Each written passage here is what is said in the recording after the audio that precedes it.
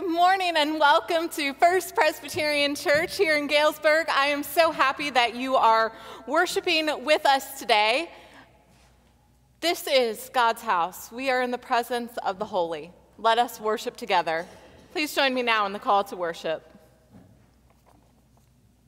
As early followers of Jesus gathered for fellowship and worship, praying and singing and reading the scriptures, so we gather in our homes this morning. We read in Acts that the whole group of those who believed were of one heart and soul, one heart, one soul. They shared everything, everything they owned, everything they had. God's grace was at work in them, powerfully at work within them all. There was not a needy person among them. May it be so for us as well, this day and always.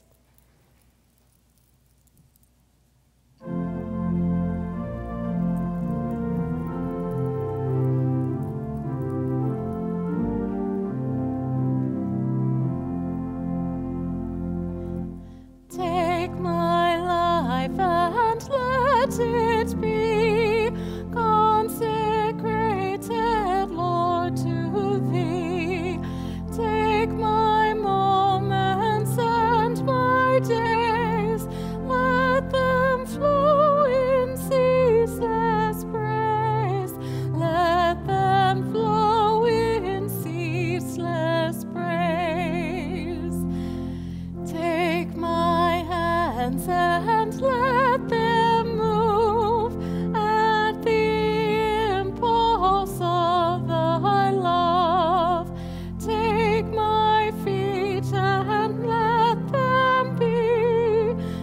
Friends,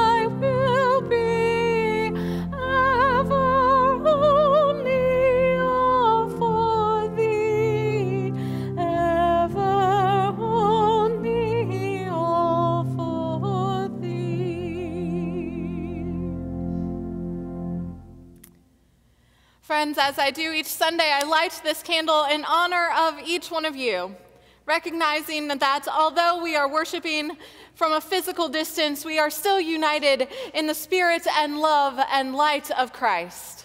Friends, may the peace of the Lord be with you.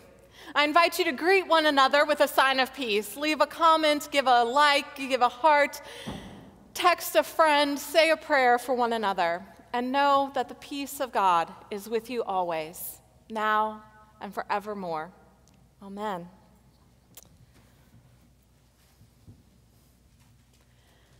Our scripture reading today comes from Acts chapter 4, verses 32 through 37. Listen now for God's word. Now, the whole group of those who believed were of one heart and soul. And no one claimed private ownership of any possessions, but everything they owned was held in common. With great power, the apostles gave their testimony to the resurrection of the Lord Jesus, and great grace was upon them all. There was not a needy person among them, for as many as owned lands or houses sold them and brought the proceeds of what was sold. They laid it at the apostles' feet, and it was distributed to each as had any need. There was a Levite, a native of Cyprus, Joseph, to whom the apostles gave the name Barnabas, which means son of encouragement. He sold a field that belonged to him, then brought the money and laid it at the apostles' feet. This is God's word for us today. Today's message is all about share the wealth. Here we are, and we're talking about how to be a first century church in a 21st century world, recognizing that we cannot go back 2,000 years in history. We recognize that there are some things that are simply not going to happen. Like, friends, today, as we talk about sharing the wealth, I do not expect you to sell your homes and come take up residence here in the sanctuary and live all together. I don't expect that. But there is still great truth in what the disciples and those early believers did. They sold everything that they had so that no one would have need. You have to think that most of these early apostles, these early believers, came from the bottom of society. After all, Jesus came and preached to the outcast among them. Jesus came for the lost and the least and the lowly. And those are the ones who start the foundation of the church. Those are the ones that the church is built upon. And those are the ones who aren't going to have much of anything. I mean, last week we talked about Peter at the gate looking at a man and saying, I don't have any silver or gold, but I can heal you in the name of Jesus Christ. And most likely, the man who was healed became a believer, but the man who was healed is coming with nothing. And Peter has nothing. He's given it all up. He gave it up three, four, five years before when Jesus first appeared to him and said, Peter, come, follow me, and I will make you fish for people. They don't have much of anything. But what they know is that it is an injustice for anyone to have need. Not only is it horrible, not only should we help people because that's what Jesus would want us to do, we also have to recognize that people having need in our society is a sign that there is something wrong in our society. And as the disciples were trying to change the world one person at a time, as they were trying to bring God's kingdom one person at a time, they also recognized that they had to meet the needs of those they were welcoming in. They had to meet the needs of the lost and the lowly who were finding hope and purpose and a place and a home in that early church. We cannot be the church if people have need among us. There is no point to telling people about Jesus Christ when the person we are telling is starving. When they have no roof over their head, when they don't have clean water to drink. There is no purpose in telling them Jesus loves you and then walking away. The way that we show Jesus loves you is to make sure that people have a food and clean water and a house over to live in and clothes that fit and an education. These are the ways that we make sure people recognize Jesus loves you. And so the early believers depended upon those who had more to give more. So, those who had land, those who had houses, those who were lucky enough to own something, gave it all so that those with nothing would have everything that they needed. It's this idea of radical generosity. That if I have more than my neighbor, if my neighbor has nothing and I have more, I get to share with my neighbor, and then we all are working from the same place.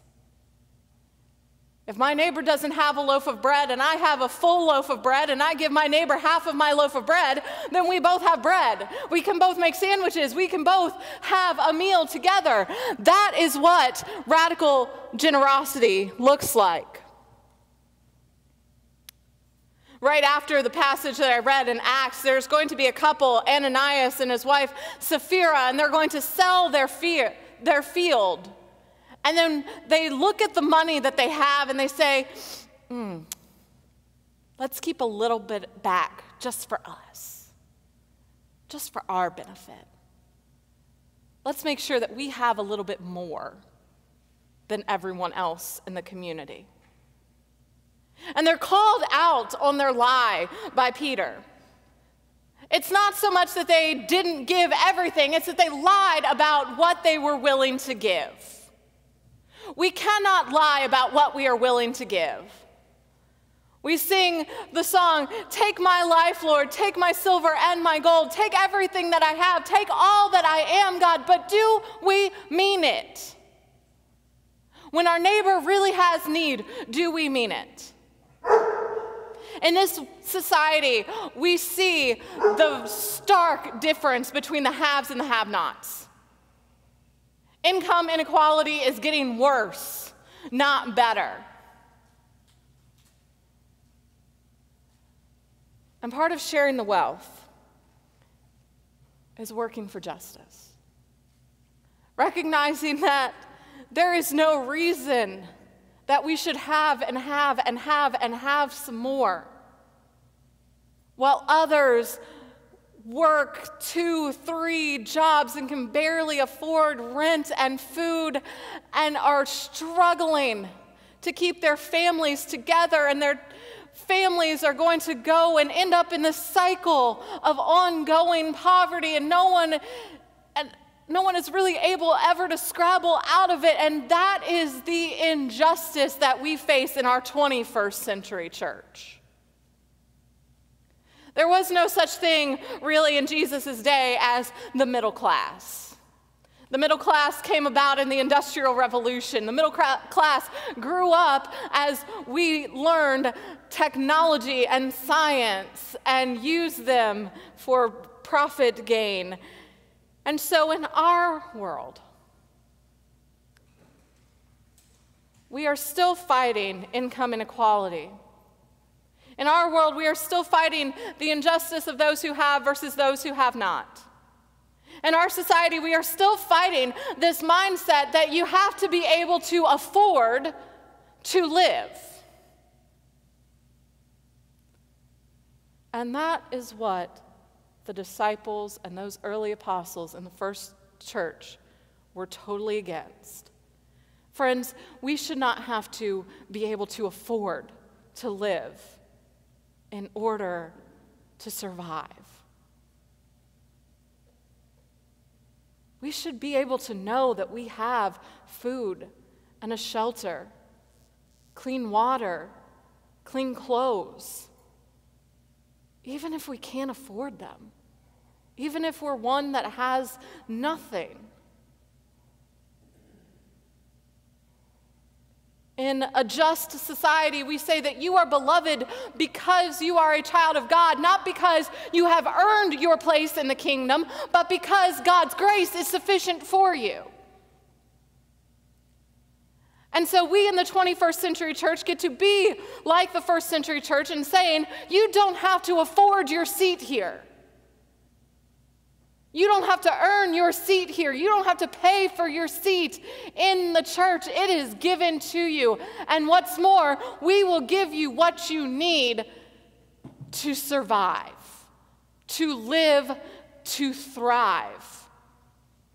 So that as you have what you need, as your needs are met, you are free to worship the living God.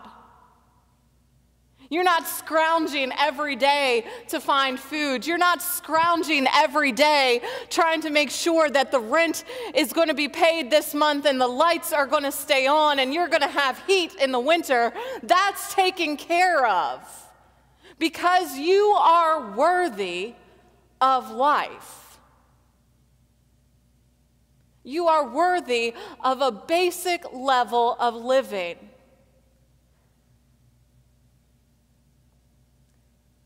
So share the wealth. That's the answer. It's been the answer since the first century church, and even in our 21st century church, it is still the answer. Share the wealth and recognize that income inequality, seeing people who are starving while we have so much, is an injustice. That we are doing our neighbors a disservice that we are not living into God's vision for our world. Share the wealth, friends. If you have more than enough, give some away and recognize that God is meeting our needs. And one of the ways God does it is through us. Amen. Let us pray. Today, O oh God, we are reminded by your holy word of what people of faith are like. We are reminded of their joy and trust in you. We are reminded of how they care for one another and reach out to help their siblings in faith. We are reminded of how your presence in their lives conquers their doubts and fears. Lord, work strongly in us and confirm our lives to the example of Jesus and all of those with a living faith. Help us walk in your glorious light and rejoice in your saving truth. Gracious God, help us show your present reality to all those around us who dwell in fear and sadness. Help us and the people of Christ everywhere to bring comfort to those who grieve, strength to those who are ill and blessings to all those who are in need. Lord, hear our prayers for those in special need of your presence this day. We ask that your Spirit may hold those we name before you in the silence of our hearts, that your Son might visit them and speak a word of healing, that your servants in this world might bring to them your comfort and your grace. We thank you, O God, for your power and presence in our lives. Make us known as a people who share that power and presence, so that the glory we intend to give unto you may be given by all, and so that our joy may be complete in Christ Jesus our Lord, who taught us to pray, saying, Our Father who art in heaven, hallowed be thy name. Thy kingdom come, thy will be done, on earth as it is in heaven. Give us this day our daily bread and forgive us our debts, as we forgive our debtors. And lead us not into temptation, but deliver us from evil. For thine is the kingdom, and the power, and the glory forever. Amen.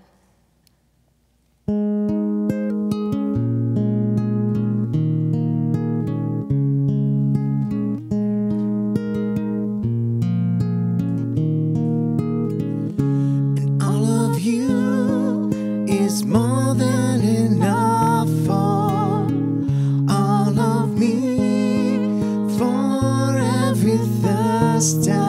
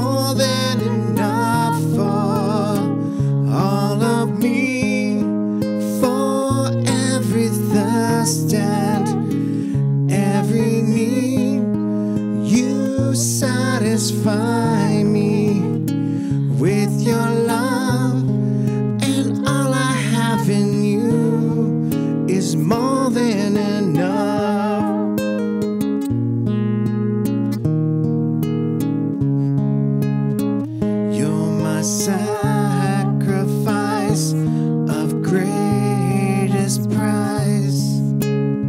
Still more awesome than I know.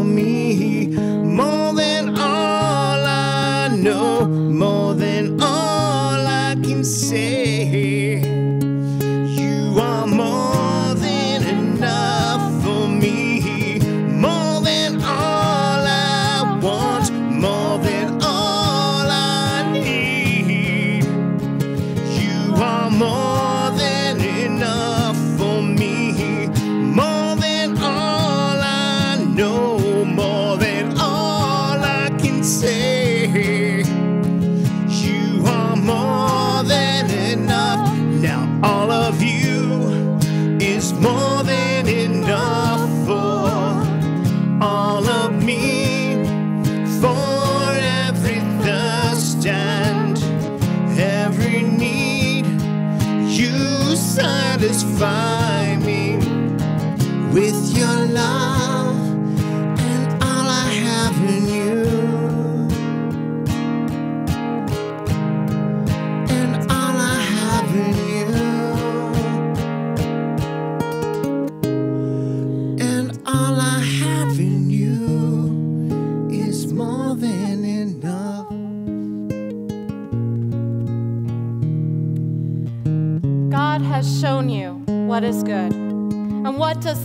require of you to do justice, to love kindness, and to walk humbly with your God. And may the grace and peace be yours in abundance, in the knowledge of God and of Jesus our Lord. Amen.